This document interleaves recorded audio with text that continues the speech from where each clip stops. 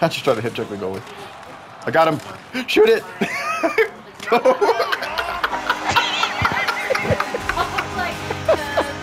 That's legal? There's no way. Is it not goalie interference if he's not in his crease?